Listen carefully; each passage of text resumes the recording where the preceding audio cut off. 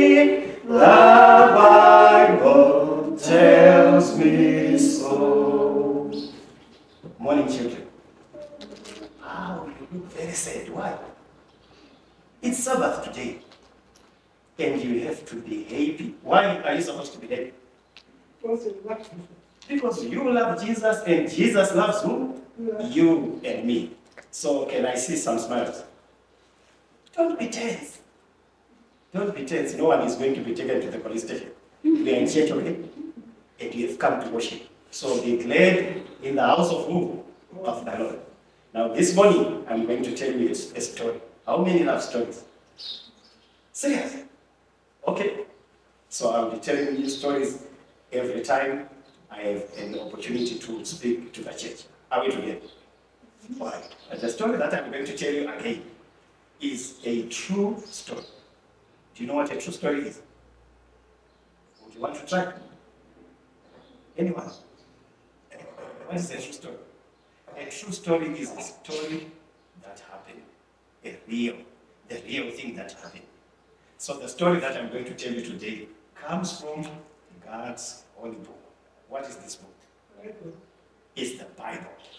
So it happened sometime, long, long back, way before we were born, long before we even existed. Not, not human beings, but I mean you and me. Long, long back, it happened amongst the Israelites. Have you ever, have you ever heard about the Israelites? Have you? Who are Israelites? The Israelites were a nation that God had chosen amongst all the people of the earth to be his own people. You know what a nation is? We are in South Africa. South Africa is a nation. And some of us are Zimbabweans. Zimbabwe, Zimbabwe is also what? a nation. Malawi, Mozambique, Zambia, including the countries that are overseas, like America, it's a nation. Britain is a nation. Russia is a what? Is a nation. So we are talking of a particular group of people that come from a particular geographical location on the earth. Now, the Israelites had been chosen by God to be his special people above all the other people that are on the earth. Now, since they were God's children, or God's people, they were supposed to obey God in everything. Are we together? They were supposed to obey God in everything. Sad to say, when you look at their history, they had a history of what we call continuous backsliding, whereby today they obey, tomorrow they what? They disobey. And whenever they disobeyed God, God would send them into what we call sometimes captivity. You know what captivity is? Captivity is whereby somebody who is more powerful than you or comes and fights you, you are fighting. And then he overpowers you. Then he takes you to be his or a slave. You know what a slave? Someone will be working for someone for nothing. You are not given enough food. You are not free to do what you want. He oppresses you. He can beat you at any given time. He can even kill you at any given time because you are a slave. So at this point in time, the Israelites had done what was evil in the sight of the Lord again. So he put them into the hands of a nation that was called um, the Philistines. The Philistines. So the Philistines were persecuting the Israelites, or they were not treating them so well. They were treating them very bad, rough, cruelly, and, and the like. Now, whilst they were suffering under the hands of the Philistines, God was preparing for them um, a savior. Do you know what a savior or a deliverer? Someone who can, someone who can set you free from the one who is oppressing you. And that person that God was preparing was Samson. So God came to Samson's parents. This story you find it in the book of Judges, from chapter 14 to chapter 16. So Samson's parents, we are told the name of the father. The father was Manoah. The mother's name is not mentioned, but the mother and the father were told by God, you are going to have a child. And because you are going to have a child, the mother of this child, beginning now, must be very careful.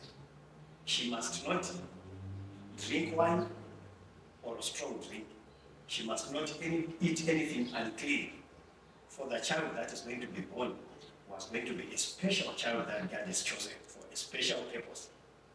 So Samson's parents obeyed God. Everything that he said they, they were supposed to do concerning the child, they did until Samson was born. Samson was born and he grew up. Samson was a very strong man. How many of you have ever seen a strong man? Not, not from the cartoons. Let, let, us talk from the Bible. Have you ever heard of a strong man in the Bible? Yes. Yes? Who? Okay, let me tell you some of them. One of the strong men that we read about in the Bible, there's one who is called Goliath. Have you ever heard of Goliath? The one that David killed and he chopped off his head and won victory for the Israelites. The other strong man was David himself. Do you know that David met a lion and a bear in the fields the pastor was looking for after his father's killed? And the, the lion and the bear would take a lamb and David would follow and grab that bear or that lion and slew it with his hands. David was very strong. But today we are talking of Samson. Samson was a very, very strong man. How do you know a strong man? A strong man is very, yes, yes, yes. A very strong man is sometimes is very tall in height. And sometimes he has got huge quantities of flesh around his body, big muscles, triceps and biceps, large quantities of flesh all around him. And when you look at him, you'll be very much afraid. So Samson was very strong. One of the days when he was going to Timnath, like what he said, he met a lion. And the lion came against him, growling. Ah, ah. You know what Samson did? He didn't run away. He just grabbed that lion's mouth like this. And he took it. Wide open in the lion died with his own hands. Then the other day, he was in Gaza and the people of the land heard that Samson is in this area. They waited for him. They around the city. They wanted to catch him in the morning and kill him. Then he woke up at midnight. The city had, had, had, had gates. You know a gate like that one. But it had what are called pillars. Pillars sometimes are made of steel or concrete. Sometimes they are round or square or rectangular in shape but they are way up. They support, they, they, they support the structures. And these pillars were supporting the king. Samson, because he was very strong, because the pillars are secured firmly to the ground, he just came and he grabbed the, the poles of the, those pillars of the king like this. And he uprooted the pillars and the gates and he carried them on his shoulders. Samson was very strong. So one of the days now, um, he married from the Philistines. And the Philistines found an opportunity to kill Samson. Then they sent their daughter and said, find out where Samson's strength comes from. You know where Samson's strength was coming from? It was coming from God, but he had to keep one secret. He had very, uh, he had a long hair. That long hair had never been shaven from the day he was born. More like is going to trade. You know trade? Trade, like a rasta. Rasta, you know rasta, isn't it? So Samson had long which had never been shaved. And he was not supposed to shave that hair or to tell anyone that his strength is because he has never been shaven ever since he was born. So the wife was bought by the people and said, find out from your husband where his strength comes from because he's killing us every day. We want to catch him and kill him. Then she was pleading with Samuel every day. That's with Samson. Samson, tell me the secret of your strength. He lied, I think, about two times. He was telling her the wrong thing. He would go and tell the Philistines. They came out against him, and he would kill them because he still had his strength. Then one of the days, he, ended up telling his wife the secret of his strength. And he told her that I've never been shaven from the day that I was born till now. And this is where my strength lies. And you know what she did? She made him to lie on her lips. Then she brought someone and shaved Samson's head so that he had chisco. You know chisco? About it. Then he was told, Samson, the Philistines are coming. And Samson woke up thinking that it would be as always. But that day he was powerless. He was caught by the Philistines. They plucked off his, his eyes and he became blind. They took him to a place where they had a grinding mill. They tied him to that grinding mill and he was pulling that grinding mill all day. It was the work that a donkey was supposed to do. Then one of the days he then prayed to the Lord. When they were making sport of him and they were in a wall and they were full in that wall. And he prayed that, God, please forgive me for what I did, but I'm kindly asking that you avenge me for my eyes on these people. Then he, with his might again, he pulled the pillars of what? Of that wall. And he killed more people than he had killed all his life, but he also died. Why did Samson die? If you follow the story. Yes. So because Oh yes, because he had entered the hole. Samson died because he did not obey. God, told him that you must keep the secret of your strength to yourself.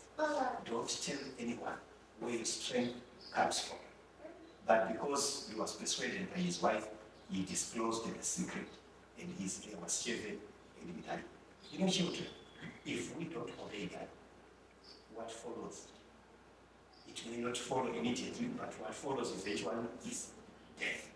If you want to live life, if you want to live long life, you must obey your parents, you must obey God.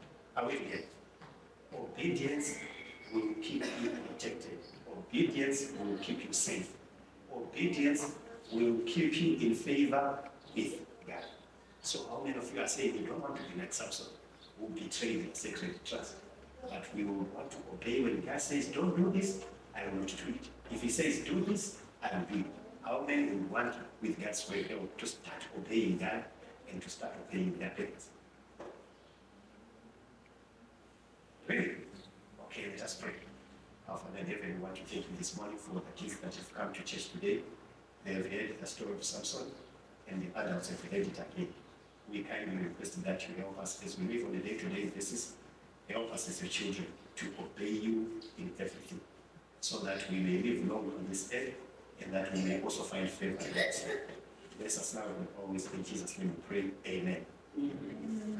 Thank you so much, kids. May God bless you, but always remember if you want to be safe, if you want to live long life, learn to trust God and to obey all the time. We? God bless you. You can go to your. Jesus loves me, this I know, for the Bible tells me so. Little ones to Him belong, but He is strong. Yes,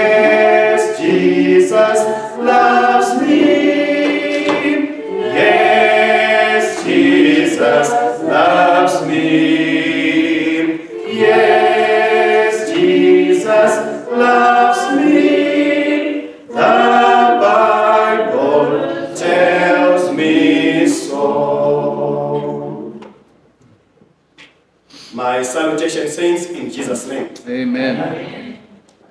Time is not on our side, but I kindly request that we still give God his time. We have come to worship. May God bless us. Amen. Amen. This morning, our sermon title is in form of a question. Whose is the voice that you hear? Rhetoric as it may be, it is a question that you and I, on an individual basis and collectively as a church, must answer today, here, and now.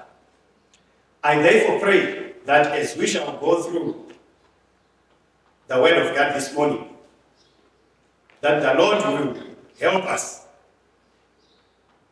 to hear His voice when He speaks. I pray that God will bless us with receptive hearts and understanding minds so that we may hear and know and understand His will. And then ultimately, I pray that God will help us to live according to the dictates and impulses of His Spirit. Having said thus, shall we bow our heads as we pray. Gracious Father in heaven, once again we are before your presence. We are at your disposal. Have thine own way in us and through us. And when all has been said and done, give us the power to live according to your will. And may you seal us unto the day of salvation. In Jesus' name we pray. Amen. Amen. Turn with me, beloved, to the book of 1 Samuel, chapter 1, verses 1 through 11. You can read it from your own Bibles. In the book of 1 Samuel, chapter 1, we meet with a woman called Hannah. Hannah is married to Elkanah, not as the only wife, according to the biblical principle, but as an additional woman into the life of another woman's man. In simpler terms, she is in marriage as wife number two. Now, Elkanah was no ordinary man, else we could excuse him. Elkanah was a worshipper of God, just like you and me today.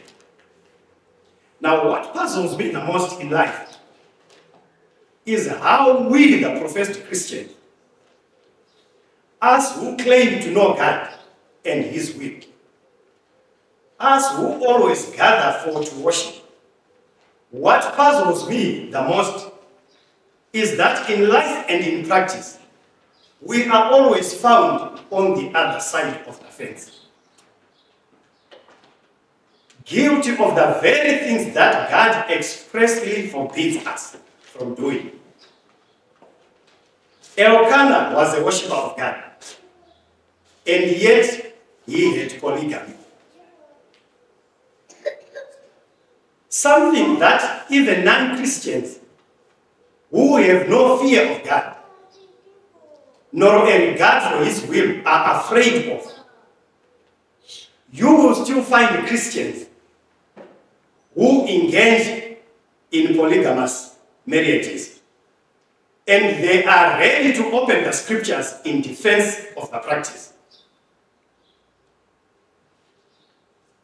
As if God has left it to mankind to decide how many wives you should marry. Perhaps for the benefit of some amongst us who may not know the biblical principle of marriage, let us delve a little on the principles of marriage as they are embodied in God's word. And hear what the word of God says. The principles that govern, the principles that guide, and the principles that define this divine institution. Turn with me to the book of Genesis, chapter 1, verses 26 through 28. And God said, Let us make men in our own image, after our own likeness, and let them have dominion over the fish of the sea, the birds of the air, and everything that creepeth upon the ground. Verse 27. And God created man in his own image. In the image of God created he him. male and female created he them. And God blessed them and said, Be fruitful and multiply, and replenish the earth, and have dominion over it. And have dominion over the birds of the air, the fish of the sea, and everything that creepeth upon the ground. I hope the saints are following. According to this passage, we see three principles about marriage. Principle number one marriage is between humanity. Principle number two marriage is between members of the opposite sex, male and females, males and females.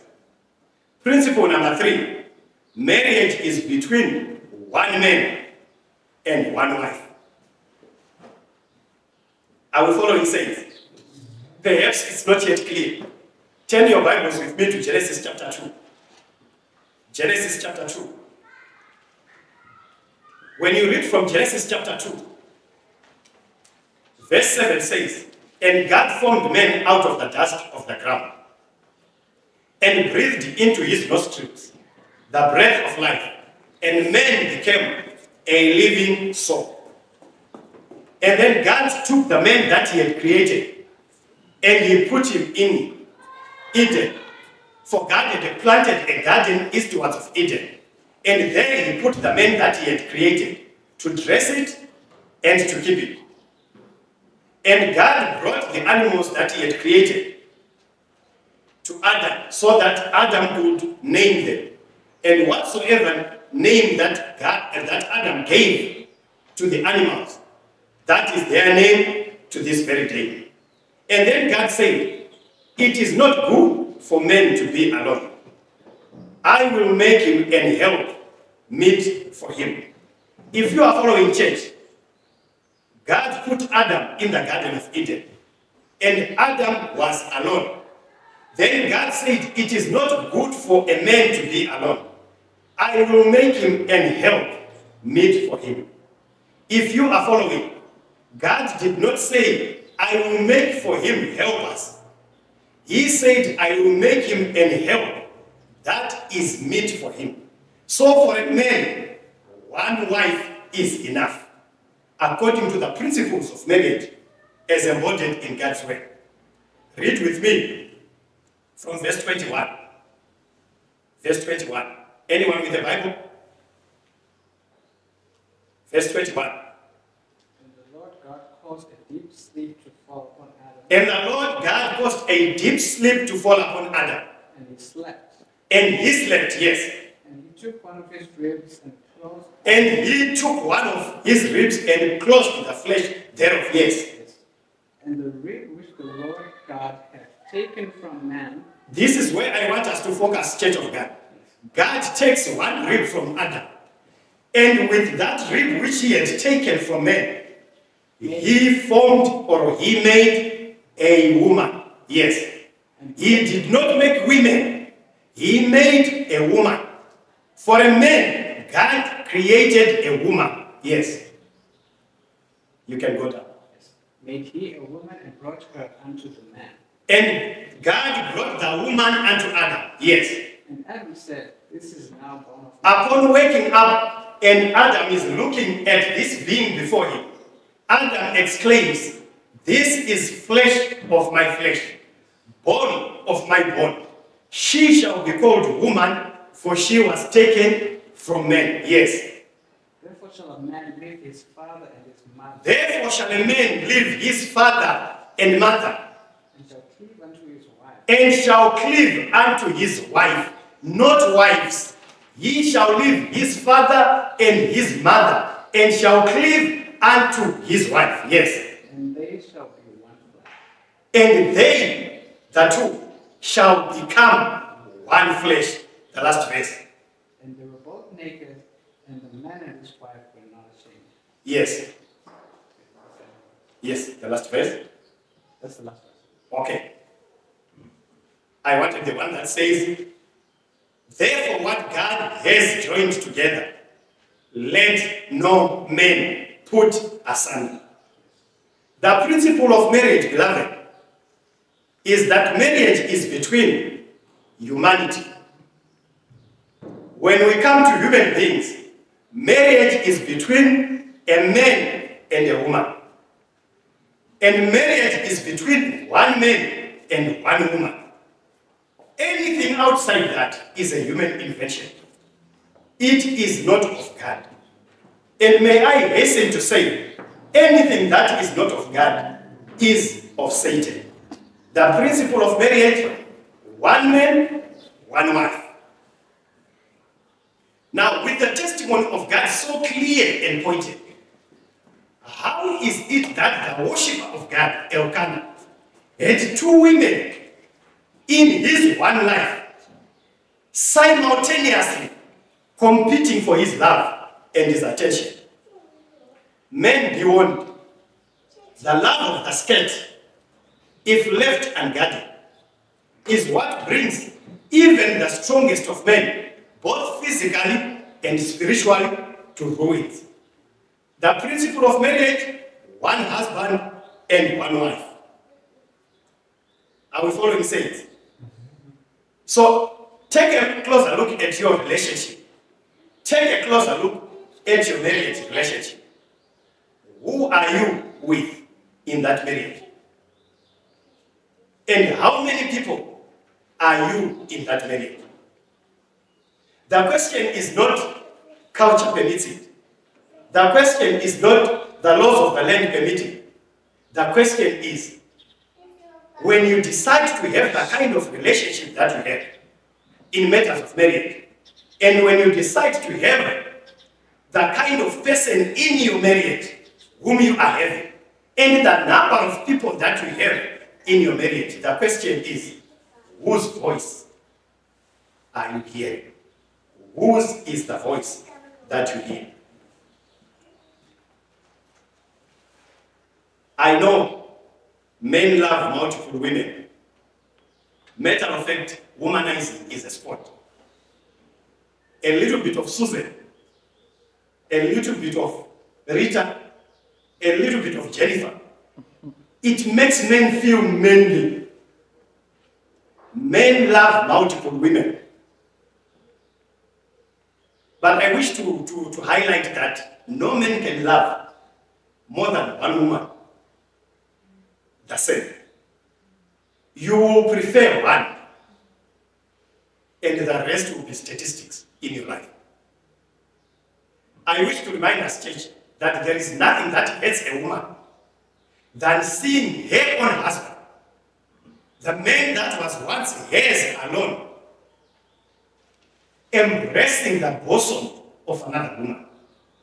There is nothing that hurts a woman than being treated by the one that she loves as if she was best before and has now passed her expiry date. It hurts a woman to the bone. And women cry before God day and night because of this kind of practice. And I wish to hasten and say, God takes note of those tears. Because this idea of having multiple women against one, one man, the Bible calls it trifling with the heart. And trifling with the heart is a sin of no less magnitude as is murder. It will stand against us in the day of judgment. You might think that I'm threatening you. Turn with me to Malachi. Malachi chapter 2. Let us consider from verse 13. Malachi chapter 2.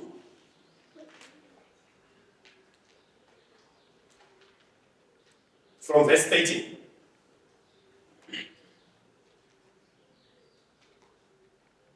Another thing you do, you flood the Lord's altar with tears.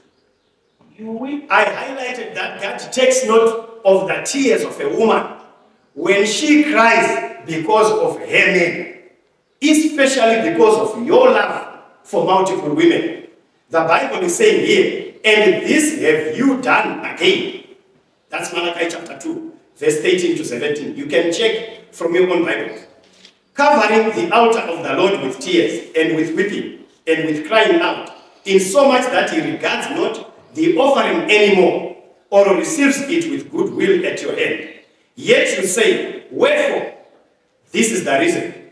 Because the Lord was witness between thee and the wife of your youth, against whom thou hast dealt treacherously, yet she is thy companion and the wife of thy covenant.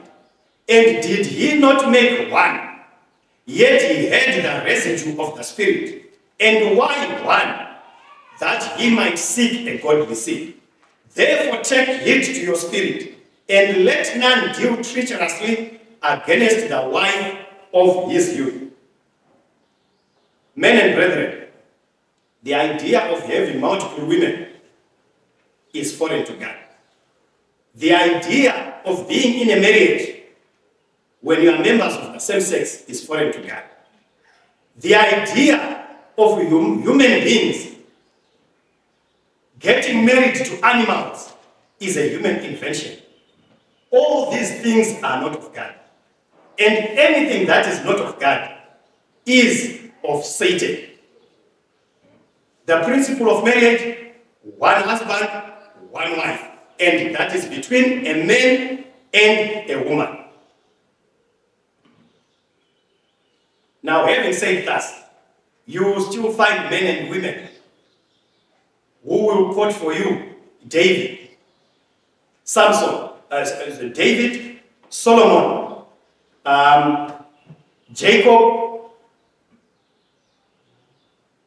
and the like, in defense of their love for multiple women.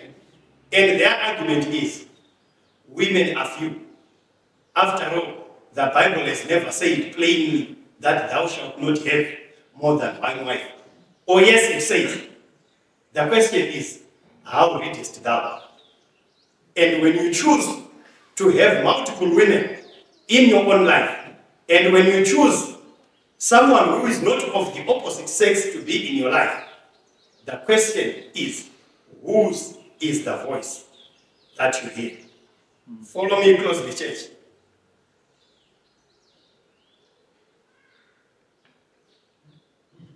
Hannah was a second wife. And do you know that in any marriage, if a man has more than one wife, the latest wife is always the favorite? That is a clear indication that no man can love two, two women and above the, at the same time, the same way. It's impossible. You will prefer one, and then the rest will be just statistics in your life. Hannah was loved. When you read in the Bible, it was no different with Elkanah. He loved Hannah more than he loved Peninnah.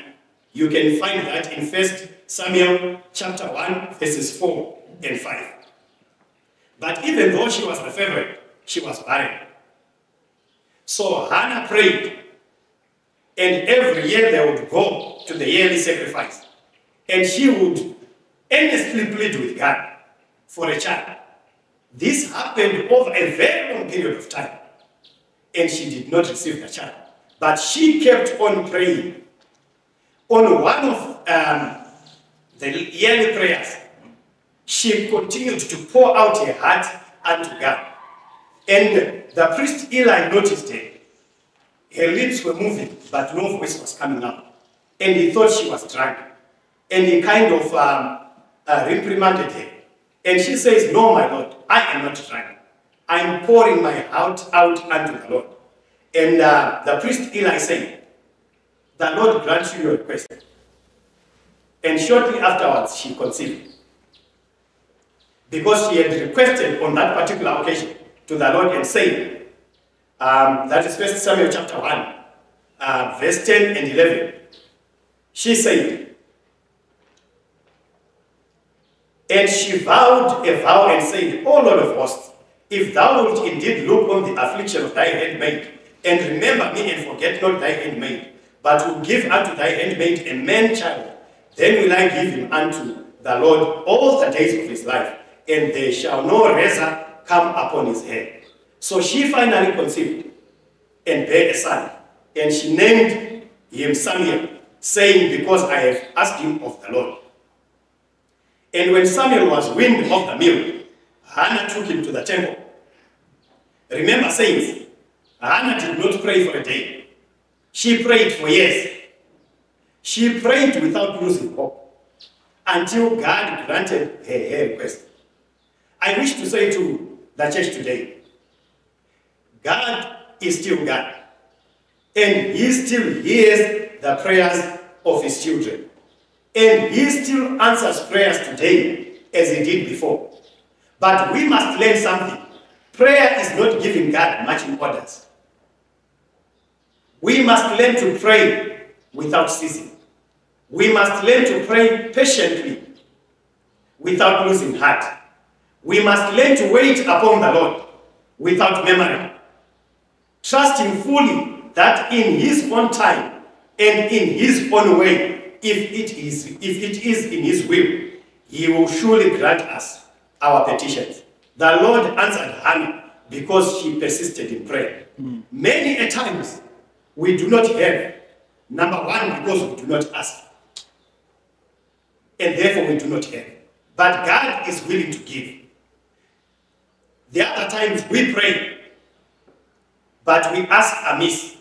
And therefore God does not give us because we ask for the wrong reasons.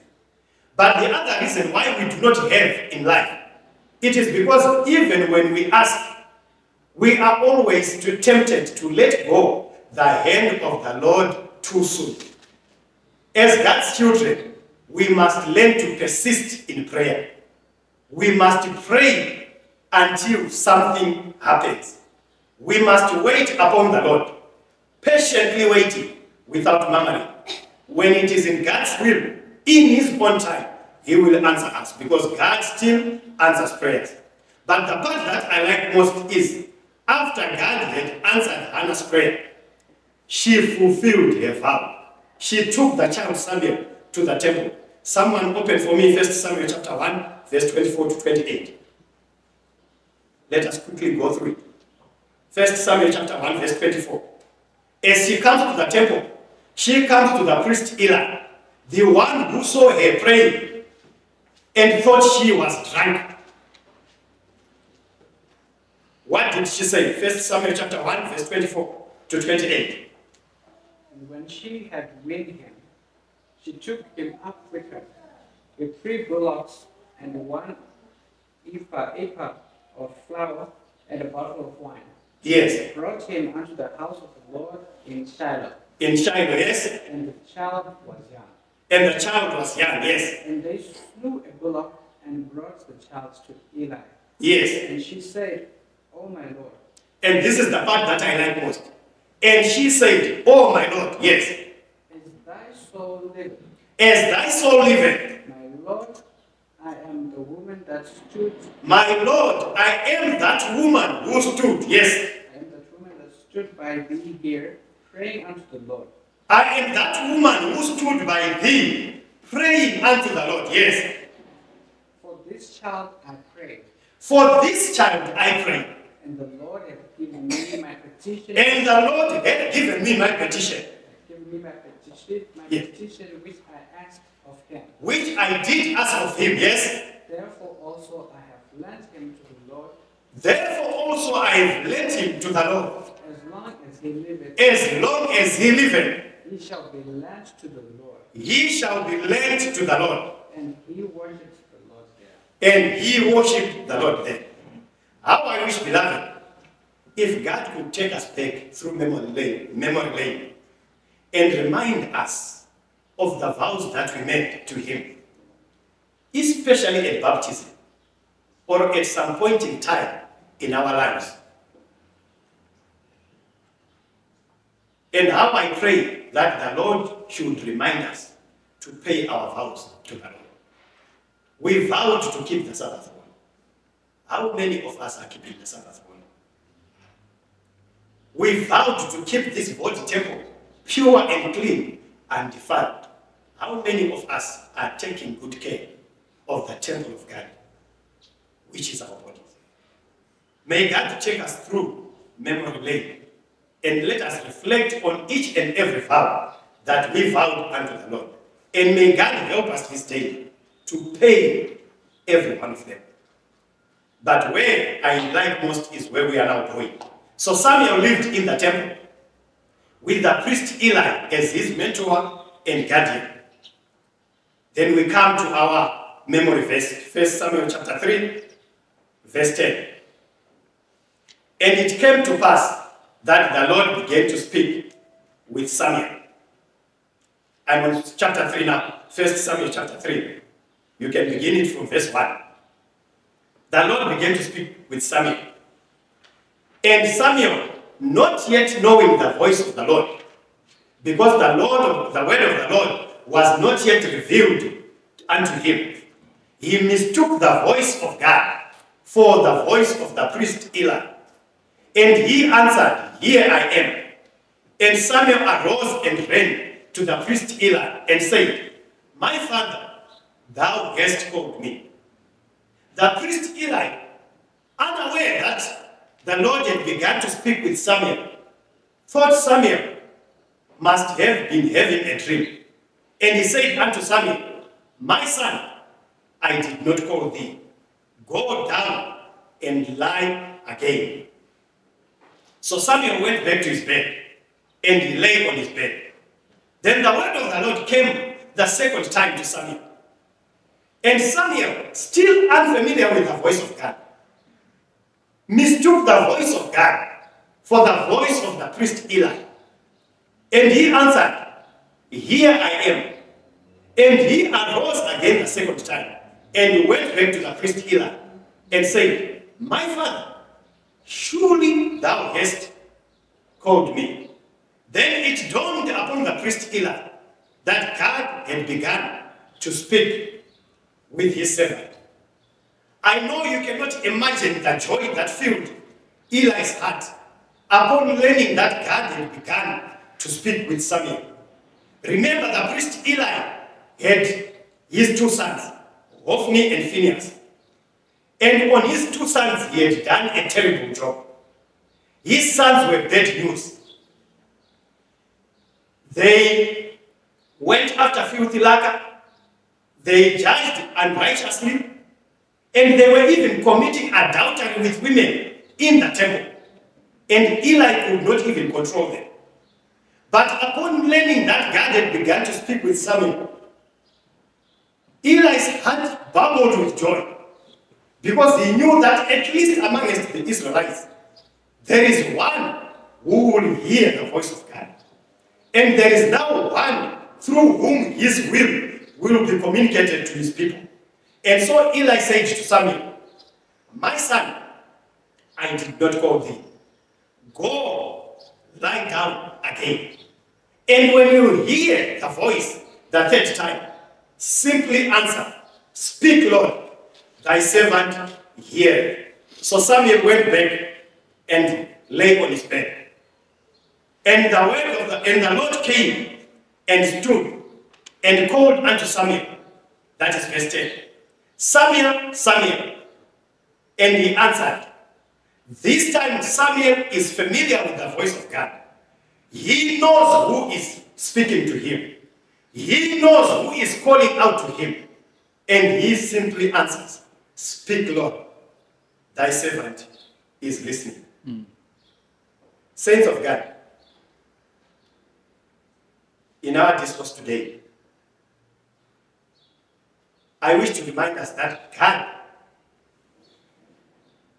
still speaks.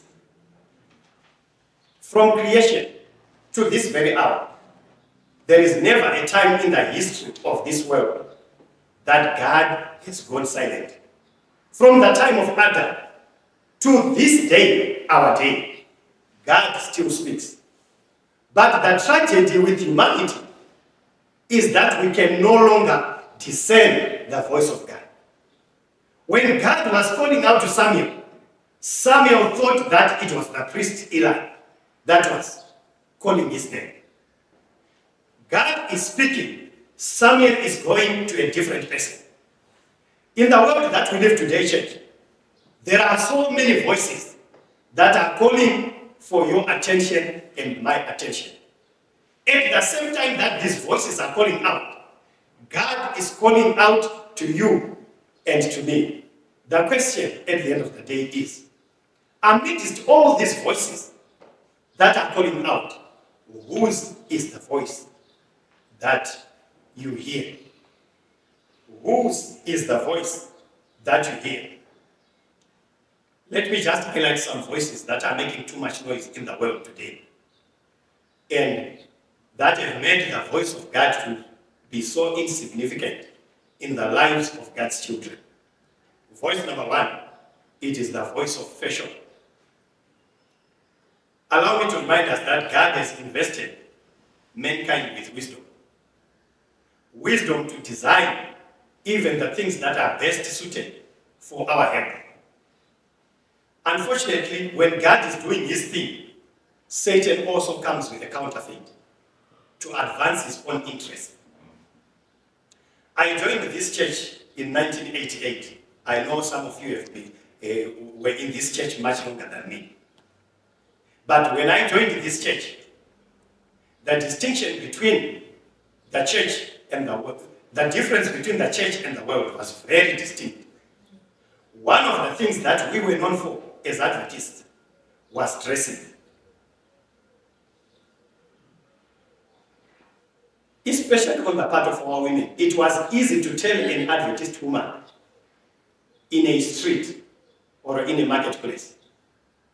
Because our women were dressing according to the principles of God's word. Simplicity and modesty characterized our women. But in today's world, the difference is minimal. You can hardly tell. The voice of fashion is calling out, and it is now louder than the principles of God's way. Fashion has become one of the most controversial topics within Adventism. You know, Adventists were known to be the people of the book. If something was in the Word of God, we accepted it, we taught it, and tried as much as we could to live by it. Today, the Word of God is debatable. Everyone presents his own viewpoint. And therefore, the difference is no longer existing between the world and the church when it comes to dress code. Let me quote uh, from uh, the pen of inspiration. The first quote comes from um, Testimonies for the Church, volume 4, page 647 to 648. God's handmaid writes, obedience to to fashion is pervading our Seventh-day Adventist churches and is doing more than any power to separate our people from God. There is a terrible sin upon us as a people that we have permitted our church members to dress in a manner inconsistent with the faith. We must rise at once and close the door against the allurements of fashion. Unless we do this, our churches will become demoralized. Testimonies for the Church, Volume 4, page 647 to 648. The reality of the Czech beloved, is that in dress and deportment, Christian women are not heeding the word of God. Instead, Hollywood, San Francisco, France, and Italy are leading the way. Another quote. Child Guidance 429, paragraph 1. Our dress should not scream sex or pride or money. Rather, it should whisper humility, purity, and moderation. If we dress in this manner, the still small voice of our witness will be louder than the gospel of fashion. My brothers and sisters, I would encourage us to go and check our wardrobes. The world is saying one thing, the principle of God's word is saying another. The question at the end of the day is, whose is the voice that you hear? The second voice that is making a lot of noise is the voice of fame and fortune. The desire for the things of this life has separated many a heart from God. Men and women are preoccupied about what they shall eat, what they shall wear, where they will stay, what they will drive, and what they will leave for their future generations. While these things in and of themselves are not bad, these things have removed God from position number one. The only position from which God can save us. Look with me, church. When people choose careers, God is not consulted. Think of the music industry, the entertainment industry. Men and women are making it big in this world because of this industry. People desire riches at any cost. The pursuit of dreams is separating men and women from God. People desire riches at any cost.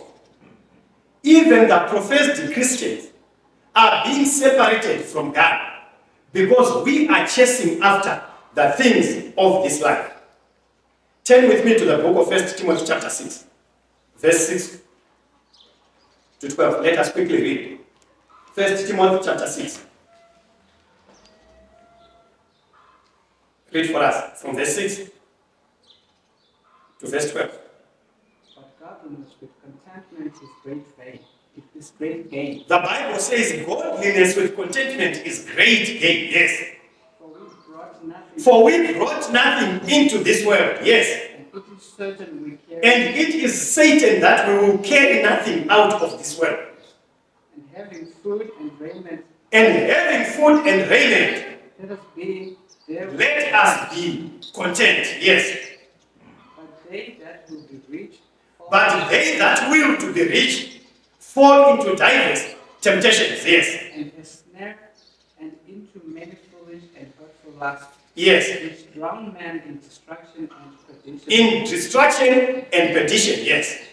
For the love of money is the For the love of money is the root of all evil, which while some coveted, which while some coveted after, yes, they have erred from the faith, they have erred from the faith and pierced themselves through. and pierced themselves through with many sorrows. Yes.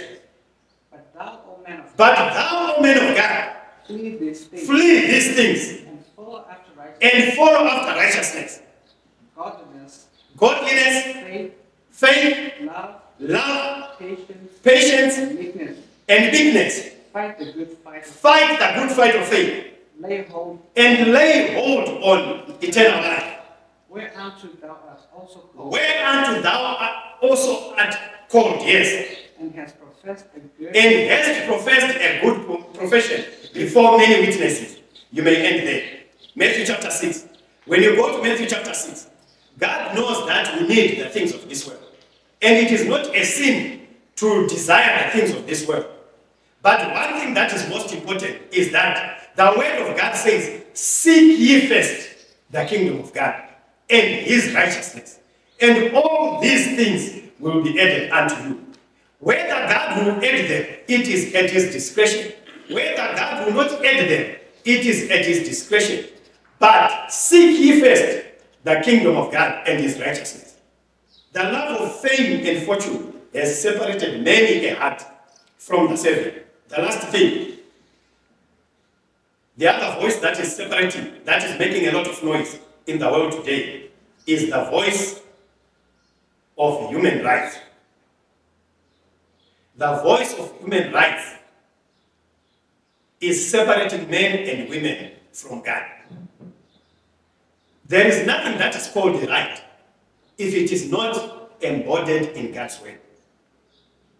If it is a human invention and goes contrary to the teachings of God's word, to the plainest teachings of Scripture, it is not a right. But in today's world, men and women are transgressing the laws of God in defense of what are called human rights on this world. If you were to read from uh, We read earlier on from Genesis chapter 2, and we saw the principle of marriage. According to the principle of marriage, marriage is between human beings. Marriage is between a male and a female. Marriage is between one man and one wife. In my country where I come from, the marriage, the, the, the, the bride price, the bride price is no longer a requirement. Meaning to say, if our children consent, they can start living together. As long as they love each other, they can start living together. And men are allowed by law to have mistresses, even if they are married. This is what the laws of the land are saying. But what does God say? Hebrews chapter 13, verse 4. Marriage is honorable unto all, and the bed undefiled. But warmongers and adulterers, God shall judge. Men and brethren, if you are a, a man and you have a woman and you are not yet married, the Bible teaches abstinence before marriage and faithfulness to one partner in marriage. The world is saying another thing. The question at the end of the day is, whose is the voice that you hear? In matters of marriage, people have invented other marriages. According to the Bible, marriage is between a man and a woman. Today, members of the same sex are getting married. They be men, they be women. Today, people are changing themselves from one gender to the other, and it's called the right. In our world today, men and women are getting married to animals. They call it bestiality, and it is a right according to the laws of the land. But what does the word of God say? Read with me. Leviticus chapter 18, verse 23. Neither shalt thou lie with any beast to defile thyself therewith. Neither shall any woman stand before a beast to lie down thereto. It is confusion. Leviticus 12, verse 15. If any man lie with a beast, he shall surely be put to death, and you shall slay the beast. Are you following, church? Mm. Governments are enacting laws, and those laws are taken as rights by human beings. But those laws are contradicting the plainest teachings of Scripture. The question is not what the law of the land says. The question is, whose voice are you hearing when you decide to marry a person of the same sex with you? When you decide to marry as many women as you can? When you decide to get married to an animal, it is not about what the laws of the land say. It's about what God says. The question is, between the voice of the state and the voice of God, whose is the voice that you hear? Hmm. In conclusion, John 10, verse 27. John 10, verse 27. My sheep hear my voice, and I know them, and they follow me. Church of God, I want to ask as I close. Have you heard the message? Yes. Amen.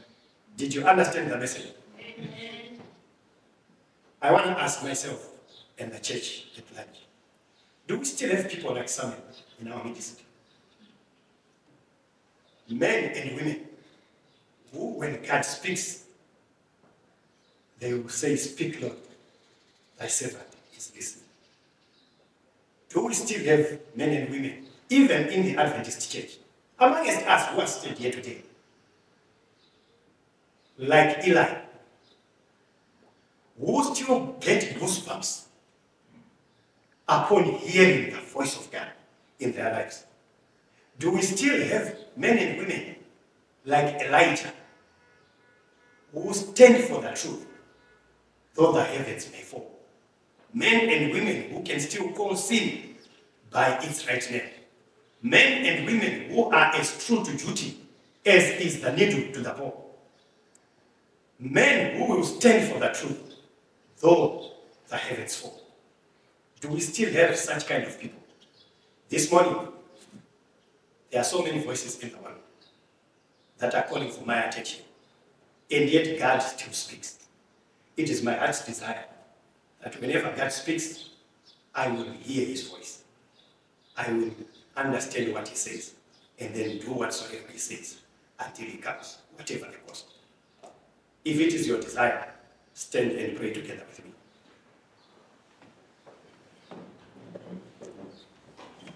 Our eyes are closed. Gracious Father in heaven, we are before your presence this Sabbath. What a privilege that it, it is for us that we can still hear you speaking without any persecution or coercion. We have never gone silent. Ever since you created the world, you have spoken your will to your sons and daughters, and you still speak. We are living in a world that is confused because there are so many voices that are calling for our attention.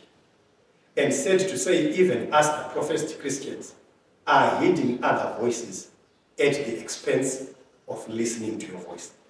This moment, having learned from the few examples that we went through, we kindly ask that you help us to take an inventory of our own spiritual lives and check ourselves at the things that we do, the things that we love, the things that we push, the things that we defend, and the things that we practice. Help us, O Lord, to check ourselves if we be still in the faith. It is our heart's desire